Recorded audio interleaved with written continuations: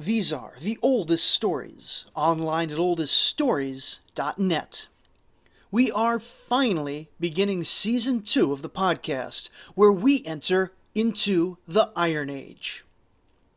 I didn't honestly expect that I would ever actually get here. My original plan was to stop at the Bronze Age collapse, but as I learned more, I realized both that the missing the Iron Age would be missing out on all the most exciting stories, and also that the so-called Bronze Age collapses, not really that great of a sea change as far as Mesopotamia is concerned. Now, sure, Anatolia and the Levant are completely overrun by barbarians, and Egypt's 19th dynasty is about to collapse. But Babylon and Assyria are busy doing kind of their own thing. Sure, they've both been struggling from the collapse of international trade and the rise of various enemy groups, but they still have more or less control of their centers, and they're still quite busy trying to wipe each other off the face of the earth. Perhaps more importantly, a lot of the stuff that was set up in the Bronze Age is going to have its payoff as we truly enter into the Age of Empires.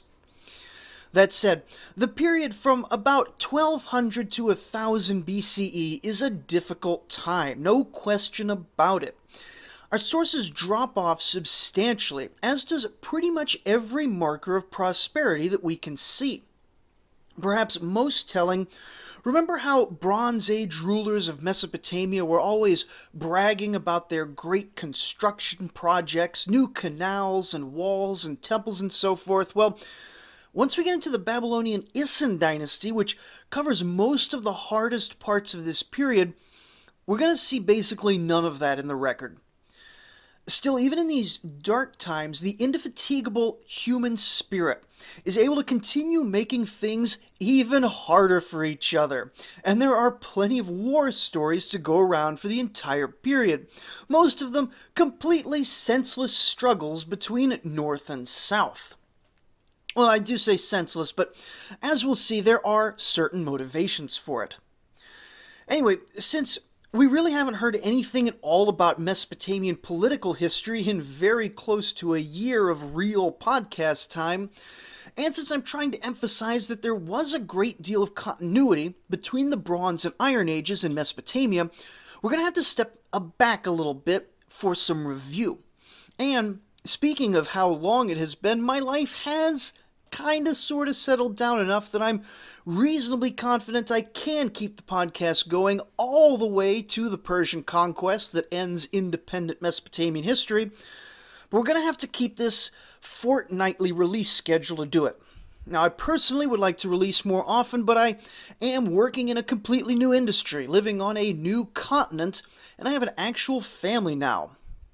Plus, Let's be honest, the modern world is far more full of distractions than the Iron Age ever was, and so this is probably the best I can manage. Also, one more quick podcast note there are apparently a lot of ways that you can leave comments or notes on the show, and not all of them I actually have any way to respond to. Uh, sometimes I get like voice messages from people, and it's like, I don't have any idea how to contact this person. So if you have any questions or you want to actually contact me and get a response, check out the contact page on oldeststories.net. Now, any other way of contacting me, I, I do check a lot of these things every couple weeks. You may get an answer, you may get missed completely, you may hear back from me uh, five months later. Who knows? Anyway, for Babylon, we need to go back in time to the Kassite period. You'll recall that the Kassites were the guys that brought horses into Mesopotamia, migrating in from somewhere eastward, and ended up taking command over Babylonia after the Hittite sack fully ended the Amorite dynasty of Hammurabi back in 1595. Throughout the Bronze Age, the Kassites governed conservatively and generally pretty well, but they were always a foreign element among a mostly Akkadian population. The Kassite period saw Babylon really cement itself as a cultural center, not just for Mesopotamia, but for the wider Near East, and it was in large part due to Kassite patronage of Akkadian culture that this was possible. And religiously, we discussed the growth of the cult of Marduk, Babylon's patron god, in this period. But despite all of this, the Kassite rulers always kept one foot in the city and one foot in the tent, maintaining separate religious rituals for the traditional Kassite deities, keeping separate Kassite settlements within the major cities, and eventually constructing Dur Kurigalzu as the new capital center a bit north of Babylon. Meanwhile, up in the north, the city of Ashur was coming out of a centuries long low point a fellow named Ashur-uballit the first broke free of Mitanni power around 1350 BCE, and he and his successors rapidly ate the corpse of the Northern Empire until they not only supplanted it, but in certain ways exceeded it. The 13th century was a fantastic century to be Assyrian, with Adad-nirari, Shalmaneser, Tukulti-Ninurta, all being long lived, aggressive, and victorious kings, one right after the other. This culminated in the conquest and occupation of Babylon in 1225, though that occupation ended up being the Akkadian version of Vietnam, and Babylonian resistance was able to retake the city. However, in the next few decades, things in Babylon get a bit confusing, and it seems likely that not only were there various people outside the Kassite dynasty potentially claiming kingship, but there were also Elamites and Assyrians attacking as well. The Kassite dynasty won't formally end until 1158, at least by the standard reckoning, and I guess since it is season 2, I should remind you all of these dates are fuzzy. They're going to get better as we go along, but if you see somebody else with slightly different dates, even off by a couple decades, that's that's really fine. That's people. the historians doing the best that we can do. Uh, at least it's we're only going to be off by a couple decades and not a couple centuries like we were at the start of the early Bronze Age. Anyway, uh, the Kassite dynasty doesn't end until 1158 when the last Kassite king was killed during the Elamite sack of Babylon. Now, that same sack will see the precious statue of Marduk stolen away to Elam, a massive blow to the religious life of a city that has slowly come to venerate their patron god far more than many other places did. Now, the Assyrians, following Tukulti-Ninurta's Babylonian quagmire, fell into a series of succession crises, which is probably the main reason that the last Kassites were able to limp along for as long as they did.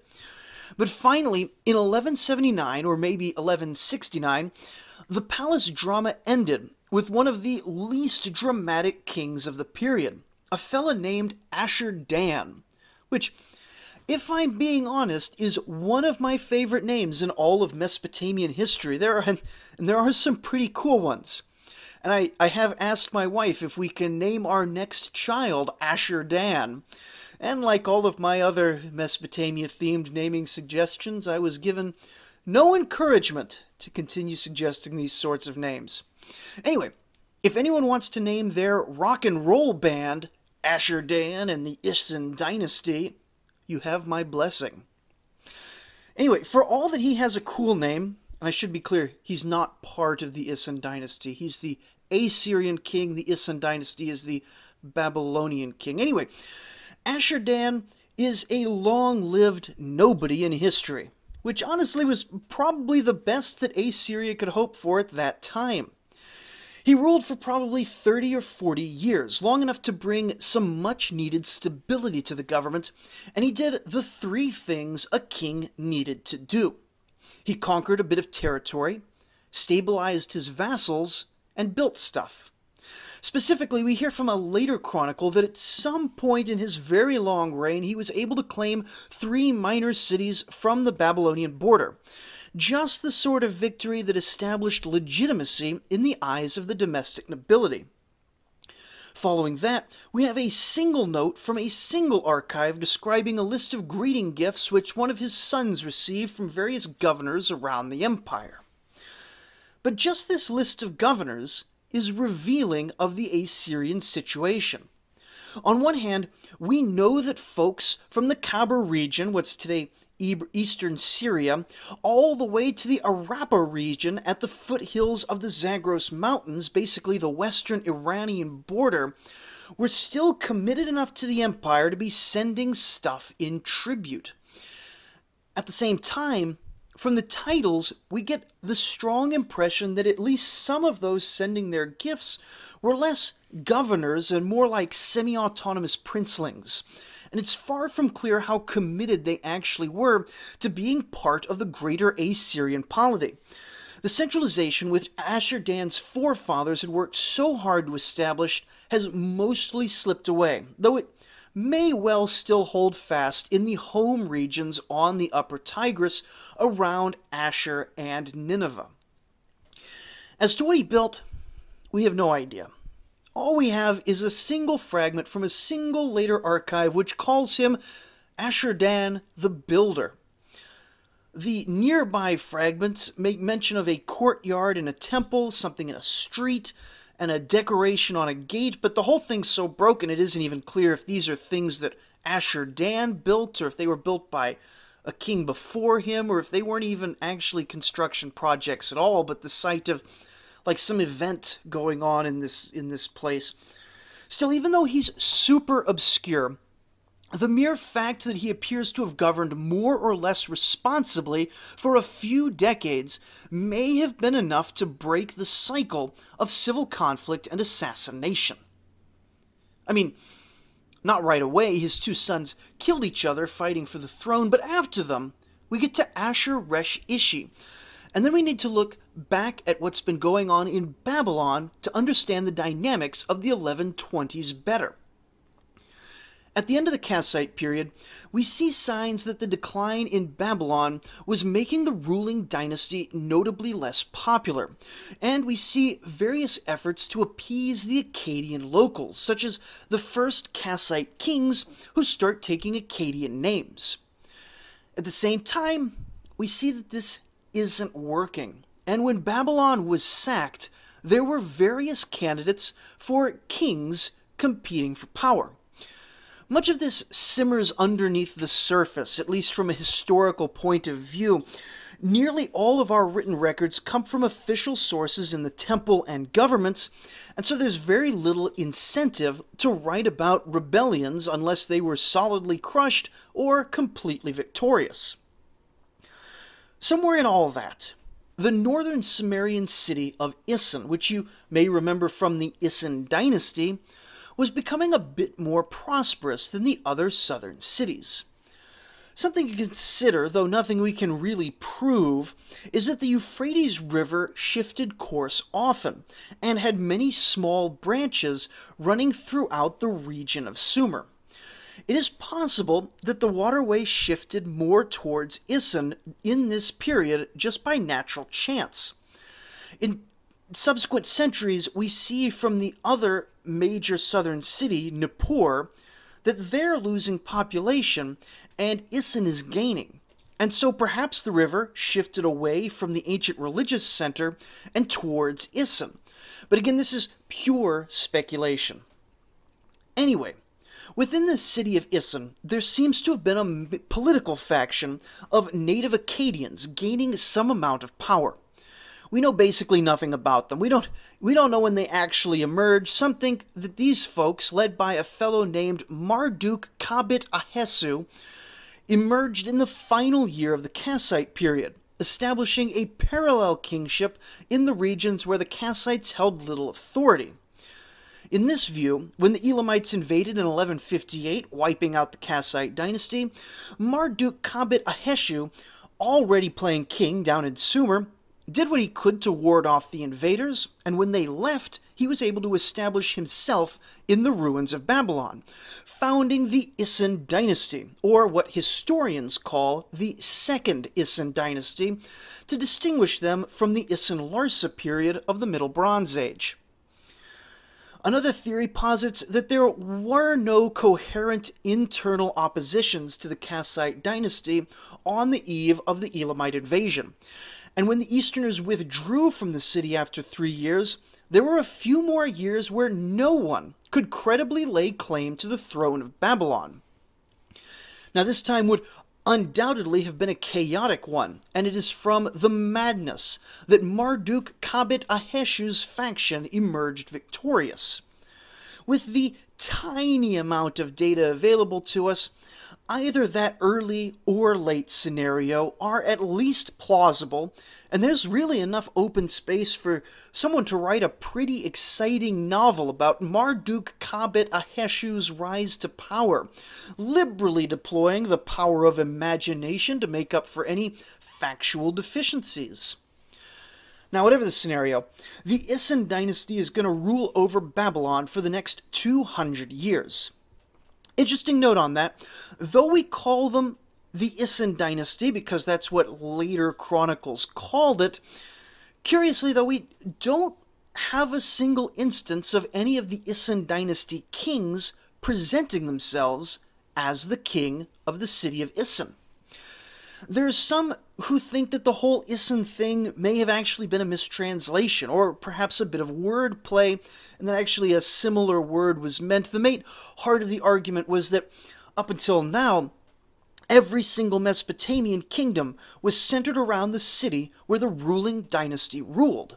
The Akkadian Empire was based around Akkad. The Ur dynasty was founded in Uruk, but then it moved to Ur after the first generation.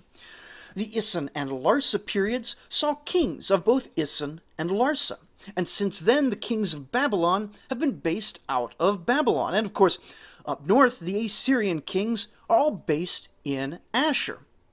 Now, following this model, Marduk Kabit Aheshu, if he was actually from Isin, should have been remembered as the founder of an Isin kingdom, not a Babylonian Isin dynasty. Now, this is not a crazy thing to think, and these scholars may be well correct, but I actually think that the Isin dynasty was from Isin, and they maintained a power base there the entire time. Now, granted, I base this off of only two data points, one being that the name is read as Isin by most history books out there. The second point is that the city of Isin itself will grow in importance in this period, possibly becoming the largest city in Sumer at this point. Not larger than Babylon. Babylon isn't in Sumer, it's north of Sumer in well now we now they call it Babylonia, but it previously would have been considered part of Akkad.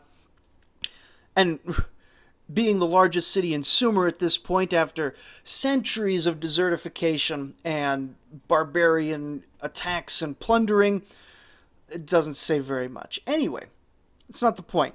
The point is, if it's truly an Isin dynasty, maintaining a power base in Isin, but ruling from Babylon and claiming to be a Babylonian, not Isin based kingdom, this is a hugely significant shift in how people are thinking about empires. For the Isin dynasty, it's no longer super significant to be the leader of a single city unless that city is Babylon. Because with Babylon just inherently comes a lot of extra stuff. In the old days, kings of great empires were the rulers of large numbers of cities and held the title King of Sumer and Akkad because, at least in theory, even, even to those kings, all these cities and regions were separable. You could have been the king of Sumer and not Akkad, and vice versa. Now, however, ideological and probably administrative centralization has taken over such a hold on the minds of the people that even folks from Isin could take power in the empire and generally be considered a native dynasty. The fact that they were from a different city isn't super important anymore. The fact that they spoke Akkadian and followed the gods of Sumer and Akkad, particularly loved Marduk and his son Nabu, well, that made them part of Greater Babylonia. Now, why is this such a big deal? Because we started our story way back in the early Bronze Age in a world of city states. Sargon of Akkad had to really teach people the idea of empire. And he teach them, taught them mostly with, you know, pointed sticks, and it didn't stick super well. The territorial kingdoms of the late Bronze Age has shifted people's ideas of what a nation was. And it's here that we've reached a point where empire is undoubtedly a valid concept in the minds of most people. Now, this is hugely important because we're on the cusp of the age of empires.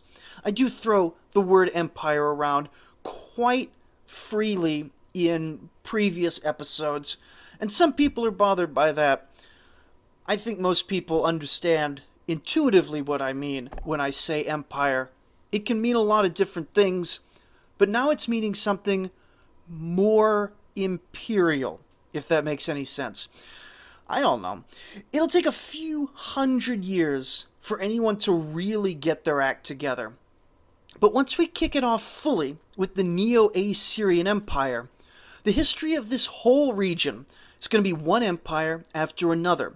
Assyrian, followed by Babylonian, followed by Persian, followed by Greek, followed by Roman, and Persian again, until finally the Islamic period changes everything into something else. Cities are still important, and they still have local identities, but we can much more confidently talk about large scale territorial states and empires in a way that did not apply as much before. Now, this is a very slow process of transition. It isn't like the Isin dynasty invents it, rather, the Isin dynasty is very close to the conclusion of a centuries long shift. Anyway, the Isin dynasty isn't going to do a whole lot with this new ideology. They're mostly focused on boosting worship of Marduk and continuing in the same vein as the Kassites. Indeed, looking at local records, we often find that while the Kassite kings may be gone, the local administrators still bear Kassite names and are probably ethnic Kassites in a lot of cases. This is most common in the east along the Tigris, where Kassites were more populous and dominant anyway.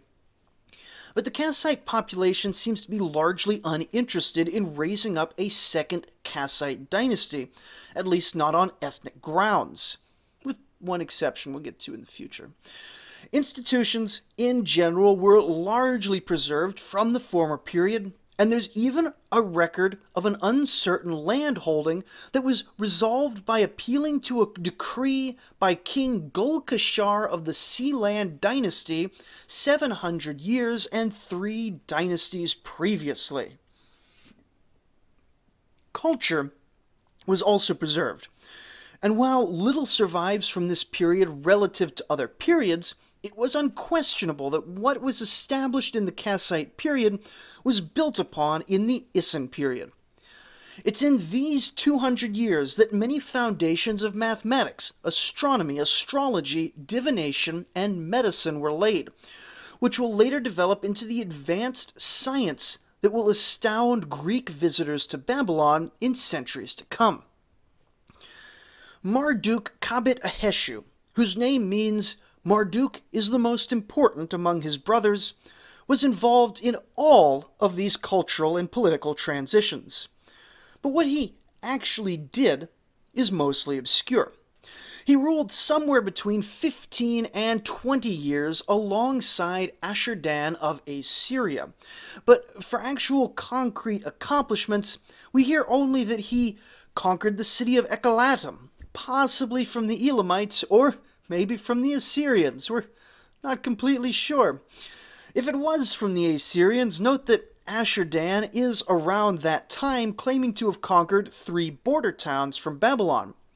Perhaps they traded cities. One king pushed west while the other pushed east.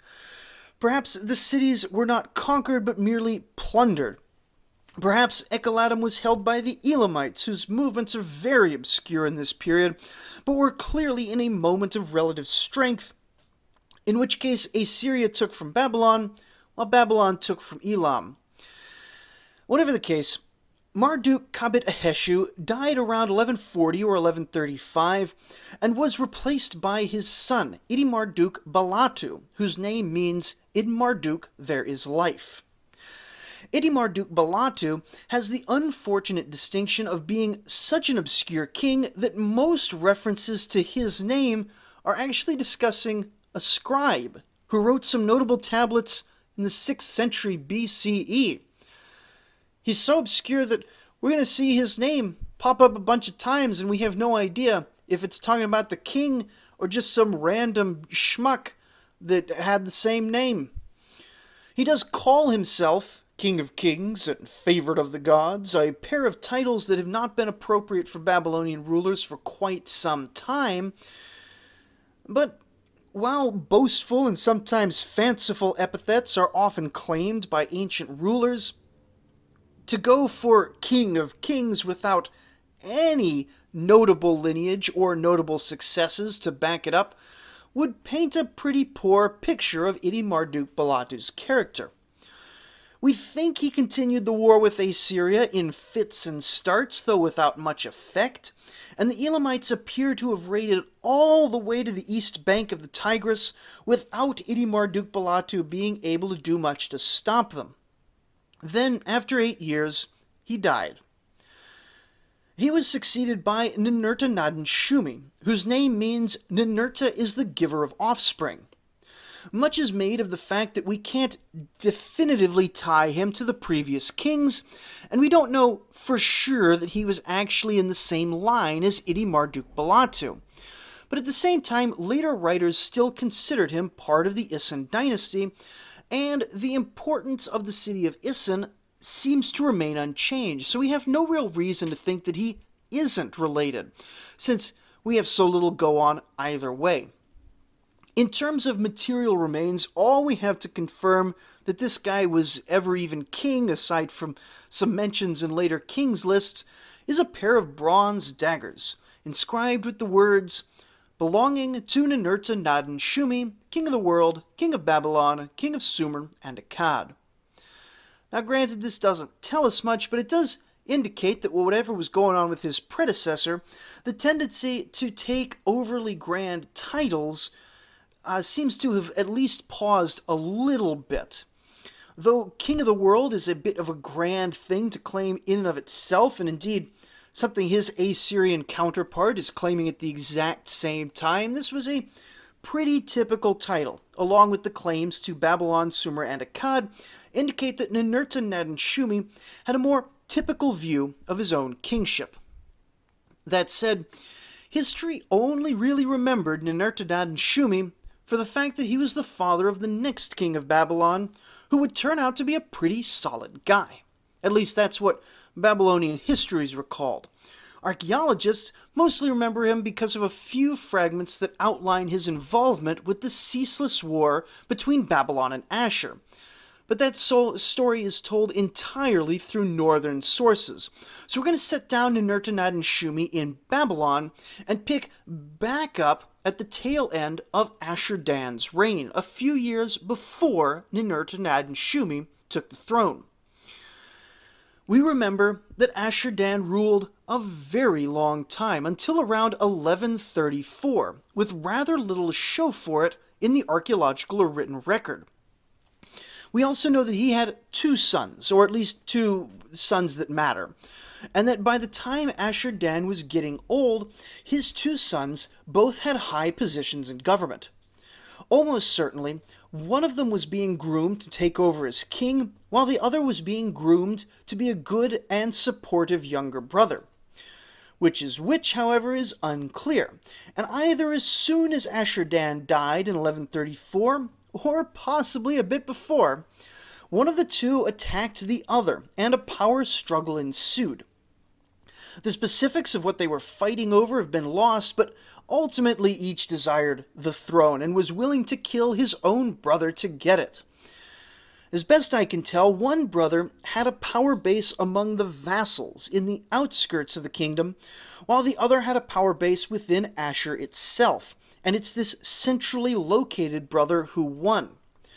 Most chronologies put them one after the other, but I do think it's a bit likely that each was proclaimed in the same year in different parts of the kingdom. Now, the two brothers clashed at a town called Sishil, though the outcome is not preserved. But it seems like the brother who controlled the center of the kingdom prevailed, while the other fled to Babylon in exile. The exiled king would possibly play a role in later politics as a puppet that the Babylonians waved around to give some tiny amount of legitimacy to their ongoing war in the north.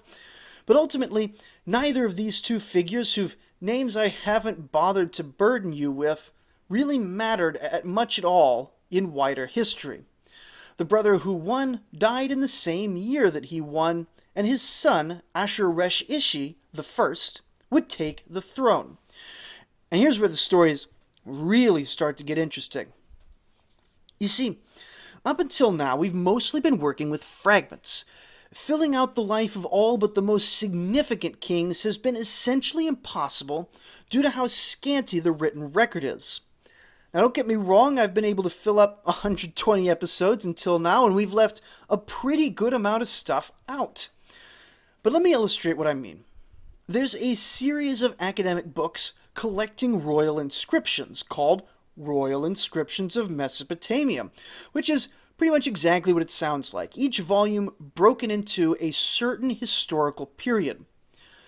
The first volume of Assyrian royal inscriptions ends with Ashur-resh-ishi, which by which I mean every single known royal inscription including pretty insignificant fragments from the start of Assyrian history up until this guy, fits in a single volume. The volume we're about to enter, by contrast, is about the same size, but only covers some 250 years.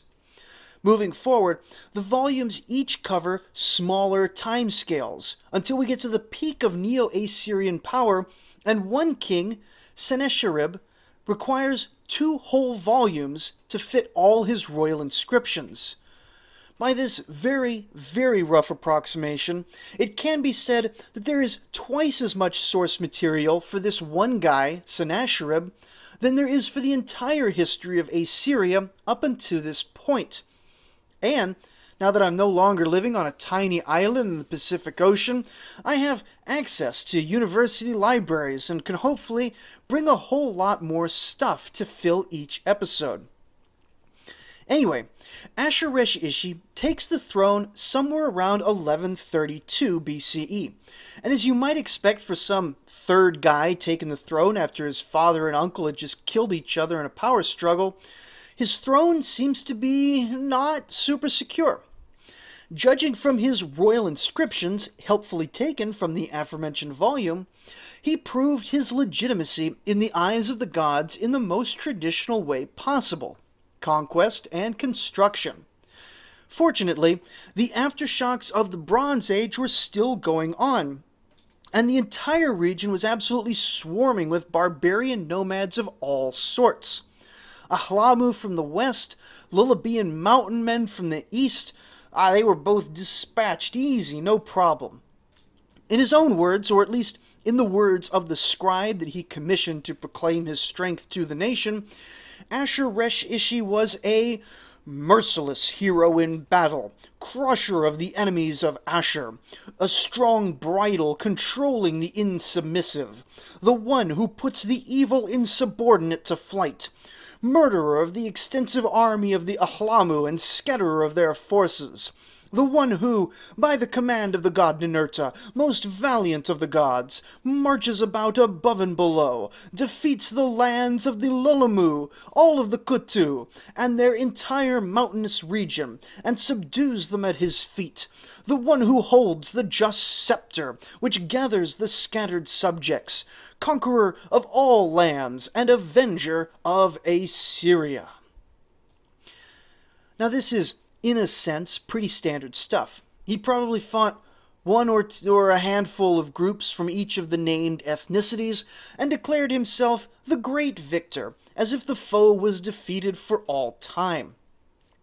We'll see this sort of language evolve as the Assyrian Empire grows into the feared Neo Assyrian Empire, but we already see that this king using pretty violent language to make clear to the people around him that he's powerful. At this scale, he isn't really innovating, but keep an eye out, or I guess an ear out, because the content and flavor of these sorts of declarations is going to be increasingly significant. Anyway, he made all these great boasts upon a temple of Ishtar in the city of Nineveh, a temple which he also rebuilt after an earthquake during Ashur-dan's reign. Along with some other monumental constructions, he was definitely working hard to rebuild his legitimacy. At the same time, however, forces in Babylon were working just as hard to undermine that legitimacy. Down in Babylon, Ninurta-Nadin Shumi had accepted the deposed Assyrian claimant as an exile and started stirring up trouble in the border cities. One city, Arbail, nowadays the site of the city of the Kurdish capital of Erbil, rose up in a rebellion that, rather unusually, we could say pretty confidently, was instigated by the Babylonians. At the same time as the city rebelled, Ninurta-Nadin Shumi took his army and invaded, seemingly by another route. Ashur-resh-ishi had to decide whether to meet the Babylonians at the city of Zaku or handle the revolt at Arbail, and it seems he has chosen the revolt, leading to a somewhat famous letter whose text I've sadly been unable to get in full, but is probably the central drama of Ninurta-Nadin Shumi's reign. The exact sequence of events is, as usual, unclear, but we can reconstruct it in the following way. During the Arbail invasion and Ninurta-Nadin Shumi's invasion, Ashur-resh-ishi was forced to choose between responding to one or the other. It seems that at this stage in history it's become customary for kings to send letters to each other to select particular battlefields. And as a complete tangent, coordinating battlefields is a super interesting thing that runs through ancient history. You see, when you're marching a whole bunch of guys around the wilderness, that's a lot of empty space to cover. And you've only so many men who can go out and be scouts. You don't have radar or anything like that, so in a very open area like ancient Mesopotamia, how do you even find the enemy to bring him to battle? Now, sometimes you can pretty well guess where the enemy will be. For example, in the Battle of Kadesh, the region of Canaan right around there has pretty rough terrain, and there's only a few routes that a large army can realistically take to travel north to south. And Kadesh happened to be sited at one of those key choke points, so it's reasonable that both sides simply expected to fight somewhere around there, even without coordination. But what we also see is that at various times in history, both within the Near East and the wider world, kingdoms go through phases where it becomes customary for the two opposing sides to send messengers to each other and agree on a set time and place for a pitched battle. It seems that somewhere in the 1120s BCE, Ninurta-Nadin Shumi sent just such a letter to his Assyrian counterpart, suggesting that they have a pitched battle around the town of Zaku. However, when Ashur-resh-ishi failed to show up, Ninurta-Nadin Shumi must have realized that he had gone over to Arbail. It's not completely clear what the Babylonian king did at this point, but there's a good chance that seeing no chance for a major battle, he, he sat down, he pouted for a while, and then he went home. Maybe his army plundered a bit of pointless towns, but even that's just speculation. When Ninurta-Nadin Shumi came home, he faced a pretty hostile reception from his court. He had sallied forth into battle and returned without a whole lot to show for it. Insisting that it wasn't his fault, he wrote an angry and somewhat petulant letter to the Assyrian king.